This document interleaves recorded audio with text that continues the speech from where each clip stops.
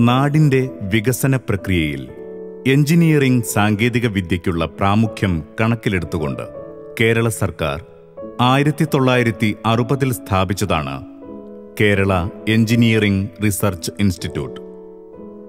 Peechi ഡാമിനോട് ചേർന്ന് കിടക്കുന്ന പ്രകൃതി മനോഹരമായ ക്യാമ്പസിലാണ് ഈ സ്ഥാപനം നിലനിൽക്കുന്നത്. ആയിരത്തി തൊള്ളായിരത്തി അൻപത്തിയെട്ട് ഏപ്രിലിൽ അന്നത്തെ പ്രധാനമന്ത്രി പണ്ഡിറ്റ് ജവഹർലാൽ നെഹ്റുവാണ് ഈ സ്ഥാപനത്തിന്റെ ശിലാസ്ഥാപനം നിർവഹിച്ചത്. ആയിരത്തി തൊള്ളായിരത്തി അറുപത് ജൂൺ പതിമൂന്നിന് അന്നത്തെ കേരള ഗവർണർ ശ്രീ ബി രാമകൃഷ്ണ റാവു ഔദ്യോഗികമായി ഉദ്ഘാടനം നിർവഹിച്ച ഈ സ്ഥാപനം കേരള ജലവിഭവ വകുപ്പിന്റെ കീഴിലുള്ള investigation design and research board chief എഞ്ചിനീയറുടെ അധികാര പരിധിയിലാണ് ഉൾപ്പെടുന്നത്. സൂപ്രണ്ടിംഗ് എഞ്ചിനീയർ തസ്തികയിലുള്ള ഡയറക്ടറാണ് ഈ ഇൻസ്റ്റിറ്റ്യൂട്ടിന്റെ മേധാവി. ഈ കാര്യാലയത്തിന്റെ പ്രവർത്തനം അഞ്ച് ഡിവിഷൻ ഓഫീസുകൾ മുഖേനയാണ് വികേന്ദ്രീകരിച്ചിരിക്കുന്നത്. ഈ ക്യാമ്പസിനുള്ളിലുള്ള construction materials division hydraulic division Thrissur കേന്ദ്രമായി പ്രവർത്തിക്കുന്ന coastal engineering field studies division തൃശൂരും കൊട്ടാരക്കരയും കേന്ദ്രമായി പ്രവർത്തിക്കുന്ന ക്വാളിറ്റി കൺട്രോൾ ഡിവിഷൻ എന്നിവയിൽ കൂടിയാണ് പ്രവർത്തനങ്ങൾ ഏകോപിപ്പിക്കുന്നത്. കൺസ്ട്രക്ഷൻ മെറ്റീരിയൽ ഡിവിഷനും ഹൈഡ്രോളിക് റിസർച്ച് ഡിവിഷനും നിർമ്മാണ മേഖലയിലെ വിവിധ വകുപ്പുകളുടെയും സ്വകാര്യ സ്ഥാപനങ്ങളുടെയും അനുബന്ധിച്ചുള്ള വിവിധ പഠനങ്ങളും പര്യവേഷണങ്ങളും ഏറ്റെടുത്ത് നടത്തുന്നു. കൂടാതെ നിർമ്മാണ വസ്തുക്കളുടെ പരിശോധനയും ഇവിടെ നടത്തുന്നുണ്ട്. Coastal engineering field studies division മുഖേന കേരളത്തിലെ തീരപ്രദേശങ്ങളുടെ പഠനവും പര്യവേഷണങ്ങളും നടത്തിവരുന്നു നിർമ്മാണത്തിലിരിക്കുന്ന പദ്ധതികളുടെയും മറ്റ് ജോലികളുടെയും ഗുണനിലവാര പരിശോധന നടത്തുന്നത് ക്വാളിറ്റി കൺട്രോൾ വിഭാഗമാണ്. ഇതുകൂടാതെ അണക്കെട്ടുകൾ റെഗുലേറ്റേഴ്സുകൾ ചെക്ക് ഡാമുകൾ എന്നിവയുടെ ഉറപ്പും പരിപാലനവുമായി ബന്ധപ്പെട്ട പഠനങ്ങളും ഗവേഷണങ്ങളും ആവശ്യാനുസരണം ഏറ്റെടുത്തെടുത്താറുണ്ട് അന്വേഷണ വിഭാഗമായ ചീഫ് ടെക്നിക്കൽ എക്സാമിനർ വിജിലൻസ് വിഭാഗം എന്നിവയുടെ അന്വേഷണവുമായി ബന്ധപ്പെട്ടുള്ള സാങ്കേതിക ഉപദേശങ്ങൾ ഇവിടെ നിന്നും കൊടുക്കാറുണ്ട്. അവയ്ക്ക് വേണ്ടിയുള്ള പരിശോധനകളും ഇവിടത്തെ ലാബ് ഉപയോഗിച്ച് നടത്താറുണ്ട്.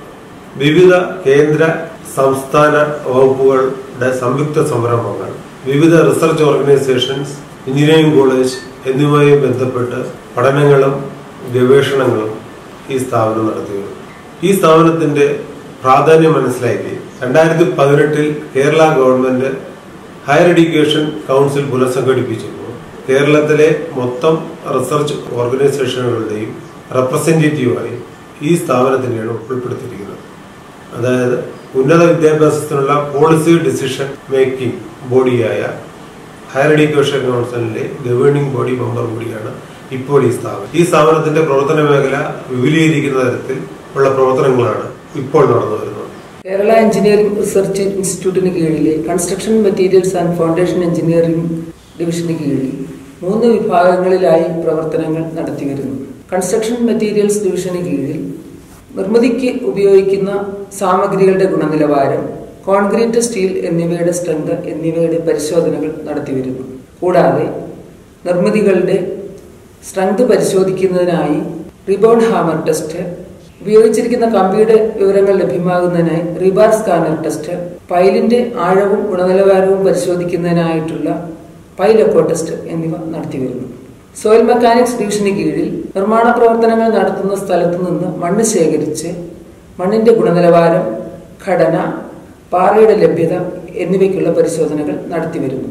കൂടാതെ എഞ്ചിനീയറിംഗ് സിസ്മോഗ്രാഫ് ഉപയോഗിച്ചുള്ള പഠനവും ഹൈഡ്രോഫോൺ ജിയോഫോൺ എന്നിവ ഉപയോഗിച്ച് റിജിഡ് അണക്കെട്ടിലുകളിലുള്ള പഠനം നടത്തിവരുന്നു ഇൻസ്ട്രുമെന്റേഷൻ ഡിവിഷന് കീഴിൽ ബോറിംഗ് പ്ലാന്റ് ഉപയോഗിച്ച് നിർമ്മാണ പ്രവർത്തനങ്ങൾ നടത്തുന്ന സ്ഥലത്ത് നിന്ന് മണ്ണ് ശേഖരിക്കുകയും അവ സോയിൽ മെക്കാനിക്സ് ലാബിലേക്ക് പരിശോധനയ്ക്ക് നൽകുകയും ചെയ്യുന്നു. കേരളത്തിന്റെ വിവിധ ഭാഗങ്ങളിൽ നിന്ന് മണ്ണ് പരിശോധനയ്ക്ക് എടുക്കുന്നതിനായി ബോറിംഗ് പ്ലാന്റുകൾ എത്തിക്കുന്നതിന് ആവശ്യമായ ട്രാക്ടർ സംവിധാനം കൂടാതെ വെള്ളത്തിനടിയിൽ നിന്ന് മണ്ണ് പരിശോധനയ്ക്ക് എടുക്കുന്നതിനായി ഉള്ള പോണ്ടൂട്ട് സംവിധാനം എന്നിവ ഈ ഡിവിഷന് കീഴിൽ സജ്ജമാണ്. നിർത്തലാക്കിയ പബ്ലിക്കേഷൻ ഡിവിഷന് കീഴിൽ ഉണ്ടായിരുന്ന ടെക്നിക്കൽ ലൈബ്രറിയും ട്രെയിനിങ് ഡിവിഷനും ഇപ്പോൾ ഈ ഡിവിഷന് കീഴിൽ പ്രവർത്തിച്ചു വരുന്നു.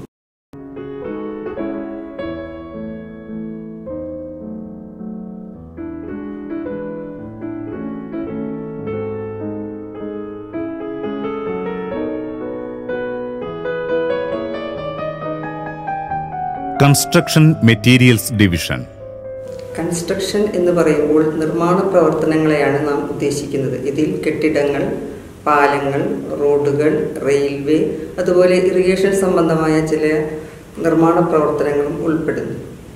ഈ കൺസ്ട്രക്ഷൻ മെറ്റീരിയൽസ് എന്ന് പറയുമ്പോൾ നമ്മൾ ഈ കൺസ്ട്രക്ഷൻ ഉപയോഗിക്കുന്ന മെറ്റീരിയൽസായ cement sand aggregates solid blocks bricks building stones paver blocks steel എന്നിവയെല്ലാം ഉൾപ്പെടുന്നു. ഏതൊരു നിർമ്മാണ പ്രവർത്തനം പ്രധാനമായിട്ടും മൂന്ന് ഘട്ടങ്ങളാണുള്ളത്. Pre construction stage construction stage and post construction stage pre construction സ്റ്റേജിൽ കൺസ്ട്രക്ഷൻ ഉപയോഗിക്കുന്ന സാമഗ്രികളായ സിമന്റ് സ്റ്റീൽ മുതലായ മെറ്റീരിയൽസിന്റെ ഗുണനിലവാരവും അനുയോജ്യതയും B I S bureau of Indian standard വെച്ച് നമ്മൾ ഇവിടെ ചെയ്തു കൊടുക്കാറുണ്ട്. അതുപോലെ നല്ല കോൺക്രീറ്റ് മിക്സ് കിട്ടുന്നതിനായിട്ടുള്ള സിമന്റ് സാൻഡ് അഗ്രിഗേറ്റ്സ് വെള്ളം. ഇവയുടെ കൃത്യമായ അനുപാതം വിവിധ പരിശോധനകൾ വഴി ഈ ലാബിൽ നിർണയിച്ചു കൊടുക്കാറുണ്ട്. മിക്സ് ഡിസൈൻ എന്ന പ്രക്രിയ ത്വരിതപ്പെടുത്തുന്നതിന് വേണ്ടി ആക്സിലറേറ്റഡ് ക്യൂറിംഗ് ടാങ്ക് എന്നൊരു സൗകര്യവും ഇവിടെ സജ്ജമാക്കിയിട്ടുണ്ട്. സെക്കൻഡ് കൺസ്ട്രക്ഷൻ സ്റ്റേജ് കൺസ്ട്രക്ഷൻ സ്റ്റേജിൽ കൺസ്ട്രക്ഷൻ സൈറ്റുകളിൽ നിന്ന് ലഭിക്കുന്ന concrete cubes bricks solid blocks paver blocks steel aggregates cement എന്നിവയെല്ലാം ഇവിടെ ബി ഐ എസ് മാനദണ്ഡങ്ങൾ അനുസരിച്ച് പരിശോധിച്ചു കൊടുക്കാറുണ്ട്. മിക്സ് ഡിസൈൻ ചെയ്തു കഴിഞ്ഞാൽ അതിന്റെ പ്രായോഗികത പരിശോധിക്കേണ്ടതായുണ്ട്. ഇതിനായി വിവിധ ഘടകങ്ങളെ അതേ ചേരുവയിൽ കൃത്യമായി അളന്നെടുത്ത് ഒരു കോൺക്രീറ്റ് മിക്സറിൽ മിക്സ് ചെയ്യുന്നു. തുടർന്ന് സ്ലം ടെസ്റ്റ് വഴി സൈറ്റിൽ ലഭിക്കേണ്ട വർക്കബിലിറ്റി ലഭിക്കുന്നുണ്ടോ എന്ന് പരിശോധിക്കുന്നു. തുടർന്ന് ക്യൂബ്സ് ഉണ്ടാക്കി ഏഴ് ഇരുപത്തിയെട്ട് ദിവസങ്ങളിൽ ലഭിക്കേണ്ട സ്ട്രെങ്ത് കിട്ടുന്നുണ്ടോ എന്ന് ഉറപ്പുവരുത്തുന്നു.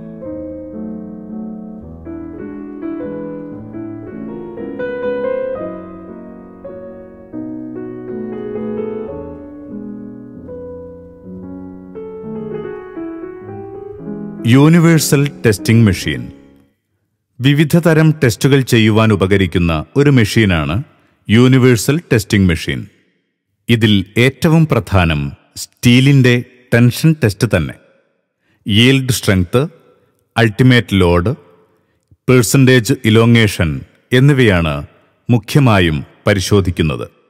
Post construction stage. ഇതിൽ നിർമ്മാണം കഴിഞ്ഞ സ്ട്രക്ചേഴ്സിന് കേടുപാടുകൾ സംഭവിക്കാതെ നോൺ ഡിസ്ട്രക്റ്റീവ് ടെസ്റ്റിംഗ് മെത്തേഡുകൾ വഴി അതിന്റെ ഗുണനിലവാരവും സ്ട്രെങ്ത്തും അതുപോലെ അതിലടങ്ങിയിരിക്കുന്ന കമ്പികളുടെ എണ്ണം ഉറപ്പ് സ്പേസിംഗ് കവർ എന്നിവയും ഈ ലാബിൽ ചെയ്തു കൊടുക്കാറുണ്ട്. പൈലെക്കോ ടെസ്റ്റ് എന്ന ഉപകരണം നമ്മൾ പൈലിന്റെ ലെങ്ത്തും കോൺക്രീറ്റിന്റെ മികവും കണ്ടുപിടിക്കുന്നതിനായിട്ട് ഉപയോഗിക്കുന്നതാണ്. ട്രാൻസ്ഡ്യൂസർ എന്നൊരു ഉപകരണമാണിത്. ഇത് പൈലിന്റെ മുകളിൽ വെച്ച് ഇതിന്റെ എഡ്ജ് യു എസ് ബി ആയിട്ട് കമ്പ്യൂട്ടറിലായിട്ട് കണക്ട് ചെയ്തിട്ടുണ്ടാവും. അങ്ങനെ കണക്ട് ചെയ്തിട്ട് നമ്മൾ സോഫ്റ്റ്വെയർ ബേസ്ഡ് ആയിട്ടുള്ള ഈ ഓപ്പറേഷൻ നമ്മൾ ചെയ്യുമ്പോൾ അതിൽ ഹിറ്റ് ചെയ്യാൻ പറയും പൈലിന്റെ മുകളിൽ. പൈലിന്റെ മുകളിൽ ഹിറ്റ് ചെയ്യുമ്പോൾ നമുക്കൊരു റിഫ്ലക്റ്റോഗ്രാം എന്ന വേവ് ലെങ്ത്തായിട്ട് കിട്ടും. അതിൽ നിന്ന് നമുക്ക് പൈലിന്റെ ലെങ്ത്തും ക്വാളിറ്റി അതിന്റെ വെലോസിറ്റി അതൊക്കെ നമുക്ക് കണ്ടുപിടിക്കാൻ പറ്റും.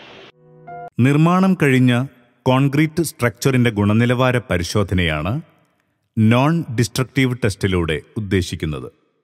Concrete core cutter rebound hammer ultrasonic pulse velocity instrument rebar locator എന്നിവയാണ് നോൺ ഡിസ്ട്രക്റ്റീവ് ടെസ്റ്റിന് ഉപയോഗിക്കുന്നത്. സ്ട്രക്ചറിന് ഹാനികരമല്ലാത്ത വിധത്തിൽ സ്ട്രെങ്ത് പരിശോധിക്കാനുള്ളതാണ് rebound hammer.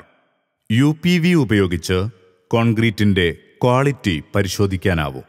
ഏറെ സൗകര്യങ്ങളുള്ള ഈ ലാബിന്റെ സാധ്യതകൾ പ്രയോജനപ്പെടുത്താൻ സമൂഹം കൂടുതൽ മുന്നോട്ട് വരേണ്ടിയിരിക്കുന്നു. Soil mechanics and foundations division.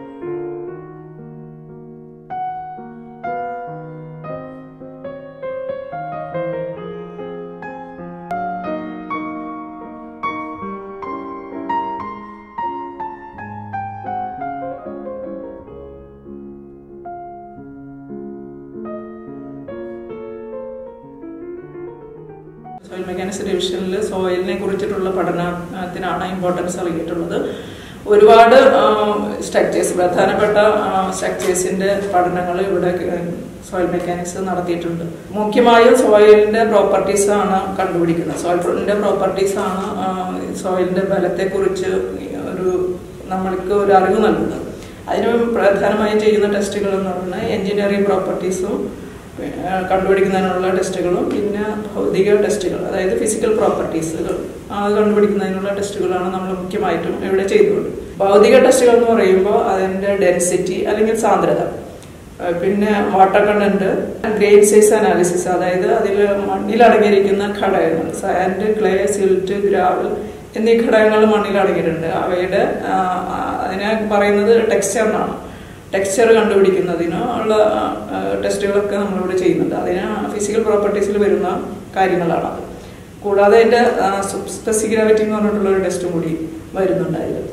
അത് ഭൗതിക സവിശേഷതകളാണ് അതിൽ കണ്ടുപിടിക്കുന്നത്. അത് കൂടാതെ നമുക്ക് എഞ്ചിനീയറിംഗ് പ്രോപ്പർട്ടീസ് കണ്ടുപിടിക്കുന്നതിനുള്ള ടെസ്റ്റുകൾ എന്ന് പറയുന്നത് ഒന്ന് direct shear test direct shear തന്നെ നാല് വിധത്തിലുണ്ട്. ഒന്ന് ഡയറക്ട് ഷിയർ ട്രയാക്സിൽ ടെസ്റ്റ് പിന്നെ അൺകൺഫൈൻഡ് കൺസോൾട്ടേഷൻ ടെസ്റ്റ് പിന്നെ ബേൻഷിയർ ഷിയർ ടെസ്റ്റ് ഇങ്ങനെ നാല് ടെസ്റ്റുകളിലും ടെസ്റ്റുകളുടെ എക്യുപ്മെന്റും സോയിൽ മെക്കാനിക്സ് ഡിവിഷനിലുണ്ട് കൂടാതെ കൺസോൾട്ടേഷൻ എന്ന് പറഞ്ഞുള്ള ടെസ്റ്റ് ചെയ്യുന്നുണ്ട്. അത് പ്രധാനമായും റെയിൽവേ ആണ് ടെസ്റ്റുകൾക്ക് ടെസ്റ്റുകൾ ആവശ്യപ്പെടുന്നത്. കൂടാതെ മണ്ണിന്റെ പെർമിബിലിറ്റി അതായത് വെള്ളത്തിന് കടന്നു പോകാൻ അനുവദിക്കുന്നതിനുള്ള കഴിവ് കണ്ടുപിടിക്കുന്നതിന് പെർമിബിലിറ്റി ടെസ്റ്റ് ചെയ്യും. അത് രണ്ട് തരത്തിലാണുള്ളത്. ഒന്ന് ഫോളിംഗ് ആയിട്ട് പെർമിബിലിറ്റിയും ഒന്ന് കോൺസെൻട്രേറ്റ് പെർമിബിലിറ്റി പിന്നെ കൂടാതെ റോഡുകളൊക്കെ റോഡുകൾ എൻവയറമെന്റുകളൊക്കെ നിർമ്മിക്കുന്നതിന് വേണ്ടുന്ന ടെസ്റ്റുകളായിട്ടുള്ള കോമ്പാക്ഷൻ ടെസ്റ്റ് എന്നീ ടെസ്റ്റുകളും ഇവിടെ ചെയ്യുന്നുണ്ട്. അപ്പോൾ ഈ എല്ലാ എഞ്ചിനീയറിംഗ് പ്രോപ്പർട്ടീസ് കണ്ടുപിടിക്കാനും ഫിസിക്കൽ പ്രോപ്പർട്ടീസ് കണ്ടുപിടിക്കുന്നതിനുള്ള എക്യുപ്മെന്റ്സ് സോയിൽ മെക്കാനിക്സ് ഡിവിഷനിൽ സജ്ജീകരിച്ചിട്ടുണ്ട്. കൂടാതെ ഓട്ടോമാറ്റിക് സോയിൽ ലാബ് എന്ന് പറഞ്ഞിട്ടുള്ള ഒരു ലാബും കൂടി സോയിൽ മെക്കാനിക് സൊല്യൂഷനിൽ ഒരുക്കിയിട്ടുണ്ട്. അപ്പോൾ ഇതുകൂടാതെ ജിയോ സിന്തറ്റിക് സ്പെസിമെൻസ് ടെസ്റ്റ് ചെയ്യുന്നതിനുള്ള എക്യുപ്മെൻസും സോയിൽ മെക്കാനിക്സിൽ അവൈലബിൾ ആണ്. ഇതുകൂടാതെ തന്നെ അത്യാധുനിക ഉപകരണമായ എഞ്ചിനീയറിംഗ് സീസ്മോഗ്രാഫ് എഞ്ചിനീയറിംഗ് സീസ്മോഗ്രാഫ് ഉപയോഗിച്ചിട്ട് നമുക്ക് അണ്ടർഗ്രൗണ്ട് പ്രൊഫൈൽ ഭൂമിയുടെ അടിയിലുള്ള വിവിധ തരത്തിലുള്ള സ്ട്രാറ്റകൾ കണ്ടുപിടിക്കുന്നതിനായിട്ട് എഞ്ചിനീയറിംഗ് സീസ്മോഗ്രാഫ് ഉപയോഗിക്കുന്നു. ആ ഒരു എക്യുപ്മെന്റ് സോയിൽ മെക്കാനിക്സ് ഡിവിഷനിൽ സ്വന്തമായിട്ടുണ്ട്. പിന്നെ അതുകൂടാതെ എഞ്ചിനീയറിംഗ് ടോമോഗ്രാഫി എന്ന് പറഞ്ഞിട്ടുള്ള ഒരു എക്യുപ്മെന്റ് റിജിഡ് ഡാംസിന്റെ ബലക്ഷയം കണ്ടുപിടിക്കുന്നതിനുള്ള ഒരു എക്യുപ്മെന്റ് ആണ്. അത് വെച്ചിട്ട് നമ്മൾ ഇവിടെ ടെസ്റ്റുകൾ ചെയ്തു തുടങ്ങിയിട്ടുണ്ട്. Instrumentation division.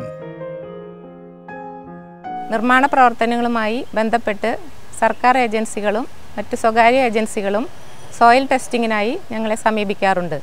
ഇതിനു വേണ്ടുന്ന യന്ത്രസാമഗ്രികളായ ബോറിംഗ് പ്ലാന്റ് ഹാൻഡ് ഓഗർ സാമ്പിളറുകൾ എന്നിവ ഈ ഡിവിഷന്റെ കീഴിൽ സജ്ജമാണ്. വെള്ളത്തിനടിയിലുള്ള ബോറിംഗ് വർക്കുകൾ ചെയ്യുന്നതിനായി പോണ്ടൂൺ സംവിധാനം ഈ ഡിവിഷന്റെ കീഴിൽ സജ്ജമാണ്.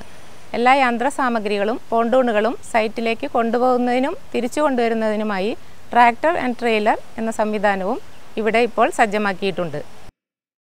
ഈ ഡിവിഷൻ കെ ഇ ആർ ഐയുടെ സോയിൽ മൊബൈൽ യൂണിറ്റായി പ്രവർത്തിക്കുന്നു.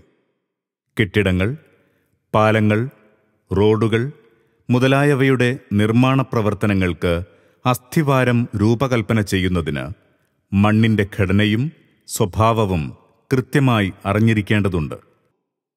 ചെക്ക് ഡാമുകൾ നിർദ്ദേശിച്ചിട്ടുള്ള സ്ഥലങ്ങളിൽ പുഴകൾക്ക് കുറുകെയായി ബോറിംഗ് വർക്ക് നടത്തേണ്ടത് അത്യാവശ്യമാണ്. പുഴകളിൽ വെള്ളമുള്ളതുകൊണ്ട് ബോറിംഗ് പ്ലാന്റ് സെറ്റ് ചെയ്യാൻ സാധിക്കില്ല. ഇതിനായി രണ്ട് പോൺടൂണുകൾ സജ്ജമാക്കിയിരിക്കുന്നു. ഈ രണ്ട് പോൺടൂണുകളെ പ്ലാറ്റ്ഫോം വഴി ബന്ധിപ്പിച്ച് ബോറിംഗ് ഇതിൽ സെറ്റ് ചെയ്യുകയും അങ്ങനെ വെള്ളത്തിനടിയിൽ നിന്ന് സാമ്പിൾ എടുക്കുകയും ചെയ്യുന്നു. വെള്ളത്തിൽ താഴ്ചക്കുറവുള്ള സ്ഥലങ്ങളിൽ ഉപയോഗിക്കുന്നതിനായി ഇരുമ്പ് ഫ്രെയിം വർക്ക് കൊണ്ടുണ്ടാക്കിയ സ്റ്റൂളുകൾ നിർമ്മിച്ചിട്ടുണ്ട്. ഇതിന് മുകളിൽ പ്ലാറ്റ്ഫോം സജ്ജീകരിച്ച് ബോറിംഗ് നടത്താവുന്നതാണ്. കേരള എഞ്ചിനീയറിംഗ് റിസർച്ച് ഇൻസ്റ്റിറ്റ്യൂട്ടിന്റെ സാങ്കേതിക വിവര കാര്യാലയമായ ഈ ഡിവിഷൻ ഇറിഗേഷൻ ഡിപ്പാർട്ട്മെന്റിന്റെ ഒരു പ്രധാന ട്രെയിനിംഗ് സെന്റർ കൂടിയാണ്. സിവിൽ എഞ്ചിനീയറിംഗ് ജലവിഭവ മേഖലകളിലെ സാങ്കേതിക വിവരങ്ങൾ നൽകുവാനുതകുന്ന പതിനായിരത്തിലേറെ പുസ്തകങ്ങളും ആനുകാലിക സാങ്കേതിക പ്രസിദ്ധീകരണങ്ങളും അടങ്ങുന്ന ഒരു ടെക്നിക്കൽ ലൈബ്രറി ഈ കാര്യാലയത്തിന്റെ കീഴിൽ പ്രവർത്തിക്കുന്നു. കേരളത്തിൽ പണി പൂർത്തിയാക്കിയ ചില ജലസേചന പദ്ധതികളുടെ മോഡലുകൾ ഇവിടുത്തെ മ്യൂസിയത്തിൽ സംരക്ഷിച്ചു വരുന്നു. മരത്തിൽ കടഞ്ഞെടുത്ത പീച്ചി ഇറിഗേഷൻ പദ്ധതിയുടെ ഒരു സവിശേഷ മോഡലും ഇവിടെ പ്രദർശനത്തിന് വച്ചിരിക്കുന്നു. ജലസേചന വകുപ്പിലെ എഞ്ചിനീയർമാർക്കു വേണ്ടി പരിശീലന ക്ലാസുകളും ഈ ഇൻസ്റ്റിറ്റ്യൂട്ടിലെ മറ്റ് ഡിവിഷനുകൾ നടത്തുന്ന പരിശീലന ക്ലാസുകളും ഈ ഹാളിൽ നടത്തിവരുന്നു. മികച്ച നിലവാരത്തിലുള്ള ഓഡിയോ വിഷ്വൽ സിസ്റ്റത്താൽ സജ്ജമാണ് ഈ സെമിനാർ ഹാൾ. ഹൈഡ്രോളിക്സ് റിസർച്ച് ഡിവിഷന്റെ കീഴിൽ മൂന്ന് വിഭാഗങ്ങൾ പ്രവർത്തിക്കുന്നു. ഒന്ന് സെഡിമെന്റേഷൻ ഡിവിഷൻ. രണ്ട് കോസ്റ്റൽ എഞ്ചിനീയറിംഗ് ഡിവിഷൻ. മൂന്ന് ഹൈഡ്രോളിക്സ് ഡിവിഷൻ. ഇതിൽ സെഡിമെന്റേഷൻ വിഭാഗം തടാകങ്ങളിലും റിസർവോയറുകളിലും അടിഞ്ഞു അടിഞ്ഞുകൂടിയിട്ടുള്ള സെഡിമെന്റിന്റെ അളവ് തിട്ടപ്പെടുത്തുന്നു. കോസ്റ്റൽ എഞ്ചിനീയറിംഗ് വിഭാഗമാകട്ടെ പുഴകളുടെയും കനാലുകളുടെയും സർവേ ടോട്ടൽ സ്റ്റേഷൻ എന്ന ഉപകരണത്തിന്റെ സഹായത്തോടുകൂടി നടത്തുന്നു. ഹൈഡ്രോളിക്സ് വിഭാഗത്തിൽ ഡാമുകളുടെ മോഡൽ സ്റ്റഡിയാണ് നടത്താറുള്ളത്. ഇത് കൂടാതെ ഈ ക്യാമ്പസിൽ സ്ഥാപിച്ചിട്ടുള്ള കാലാവസ്ഥാ നിരീക്ഷണ കേന്ദ്രത്തിന്റെ നടത്തിപ്പും ഹൈഡ്രോളിക്സ് വിഭാഗത്തിന്റെതാണ്.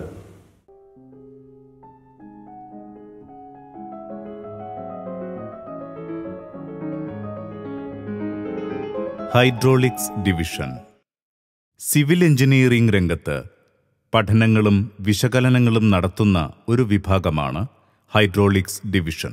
ജലസേചന സൗകര്യത്തിനായി നിർമ്മിക്കുന്ന അണക്കെട്ടുകളുടെയും അനുബന്ധ കനാലുകളുടെയും ഹൈഡ്രോളിക് സവിശേഷതകൾ ഉൾപ്പെടുത്തി ഫിസിക്കൽ മോഡൽ സ്റ്റഡി നടത്തുകയാണ് ഈ ഡിവിഷന്റെ പ്രധാനപ്പെട്ട ജോലി. കേരളത്തിലെ പ്രധാനപ്പെട്ട പല അണക്കെട്ടുകളുടെയും ഉദാഹരണത്തിന് Kallada irrigation project Malankara dam lower Periyar project Karapuzha project Thrithala regulator cum bridge എന്നിവയുടെ എല്ലാം ഫിസിക്കൽ മോഡൽ സ്റ്റഡി ഈ ഡിവിഷന് കീഴിലാണ് നടത്തിയിട്ടുള്ളത്. പുതിയ പ്രോജക്റ്റുകളായ പട്ടിശ്ശേരി ഡാം കുറ്റ്യാടിയുടെ നവീകരണ പ്രവൃത്തികൾ ഇവിടെയെല്ലാം ഫിസിക്കൽ മോഡൽ സ്റ്റഡിയുടെ പ്രാരംഭ നടപടികൾ ഇപ്പോൾ ഈ ഡിവിഷന് കീഴിൽ പുരോഗമിച്ചുകൊണ്ടിരിക്കുകയാണ്. കൂടാതെ കേരള ഗവൺമെന്റിന്റെ ഫ്ലാഗ്ഷിപ്പ് പ്രോജക്റ്റുകളിലൊന്നായ ഡാമുകളിലെ മണൽവാരലുമായി ബന്ധപ്പെട്ട സ്റ്റഡിയുടെ ഭാഗമായി പാലക്കാട് ജില്ലയിലെ ചുള്ളിയാർ ഡാം റിസർവോയറിൽ അടിഞ്ഞുകൂടിയിട്ടുള്ള സെഡിമെന്റുകളുടെ കളക്ഷനും അനാലിസിസും ഈ ഡിവിഷനെയാണ് ഏൽപ്പിച്ചിരിക്കുന്നത്. അതിന്റെയും പ്രാരംഭ നടപടികൾ ഇവിടെ തുടങ്ങിക്കഴിഞ്ഞു. പീച്ചിയിൽ എത്തുന്ന വിനോദസഞ്ചാരികൾക്ക് ഏറെ വിജ്ഞാനപ്രദമായ ഒരിടമാണ് കേരളത്തിന്റെ ഉച്ചാവച മാതൃക അഥവാ ത്രീ ഡി മോഡൽ. ഈ മോഡലിന്റെ സൂക്ഷിപ്പും ഈ ഡിവിഷനെയാണ് ഏൽപ്പിച്ചിരിക്കുന്നത്. ഇവയുടെ നവീകരണ പ്രവൃത്തികളും ഇപ്പോൾ നടന്നുകൊണ്ടിരിക്കുന്നു. കേരളത്തിന്റെ പ്രധാന റോഡുകൾ റെയിൽ നദികൾ പുഴകൾ പ്രധാന പദ്ധതികൾ ജില്ലകൾ എന്നിവ ഉൾക്കൊള്ളിച്ചുകൊണ്ടുള്ള കേരളത്തിന്റെ ഉച്ചാവച മാതൃക ഇവിടെ സംരക്ഷിക്കപ്പെടുന്നു. ഇതിനാൽ കേരളത്തെപ്പറ്റി കൂടുതൽ അറിയുവാനും കേരള ഭൂപ്രകൃതി മനസ്സിലാക്കുവാനും വിദ്യാർത്ഥികൾക്ക് സാധിക്കുന്നു. വിവിധ പ്രൊജക്റ്റുകളിലേക്കുള്ള വീനോച്ചുകളുടെ കാലിബറേഷൻ ഇവിടെ നടക്കുന്നു. വിവിധ ഉയരങ്ങളിൽ വീനോച്ചിലൂടെ വെള്ളം ഒഴുകുമ്പോഴുള്ള ആനുപാതികമായ വെള്ളത്തിന്റെ അളവാണ് കാലിബ്രേഷൻ മുഖേന ലഭിക്കുന്നത്. ഹൈഡ്രോളിക്സ് ഡിവിഷനിൽ നടക്കുന്ന മറ്റൊരു പ്രധാന പഠനം കാലാവസ്ഥയുമായി ബന്ധപ്പെട്ട പാരാമീറ്ററുകളുടേതാണ്. ഇവിടുത്തെ കാലാവസ്ഥാ നിരീക്ഷണ കേന്ദ്രം സമുദ്രനിരപ്പിൽ നിന്ന് തൊണ്ണൂറ്റിയാറ് ദശാംശം പൂജ്യം മൂന്ന് മീറ്റർ ഉയരത്തിലാണ് സ്ഥിതി ചെയ്യുന്നത്. മഴയുടെ അളവ് അന്തരീക്ഷമർദ്ദം ഊഷ്മാവ് ആപേക്ഷിക ഈർപ്പം കാറ്റിന്റെ ശക്തിയും വേഗതയും സൂര്യപ്രകാശമുള്ള മണിക്കൂറുകൾ തുടങ്ങിയവയുടെ നിരീക്ഷണങ്ങൾ നടത്തി അളവുകൾ ശേഖരിച്ച് വിലയിരുത്തി റിപ്പോർട്ടുകൾ തയ്യാറാക്കുന്നു. മേൽപ്പറഞ്ഞ ഘടകങ്ങൾ ശേഖരിക്കുന്നതിനായി സാധാരണ കാലാവസ്ഥ നിരീക്ഷണ ഉപകരണങ്ങൾക്ക് പുറമെ നൂതന സാങ്കേതിക വിദ്യകൾ ഉപയോഗിച്ചുള്ള ഒരു ഓട്ടോമാറ്റിക് കാലാവസ്ഥാ നിരീക്ഷണ കേന്ദ്രവും ഇവിടെ പ്രവർത്തിക്കുന്നുണ്ട്. ഇതുപയോഗിച്ച് ഓരോ അരമണിക്കൂറുമുള്ള കാലാവസ്ഥാ വ്യതിയാനങ്ങൾ നിരീക്ഷിക്കാവുന്നതാണ്. Sedimentation division.